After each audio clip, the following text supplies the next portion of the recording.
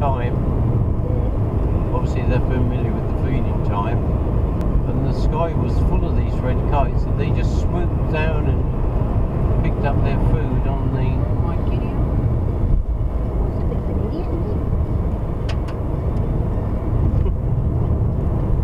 I've known people do that before.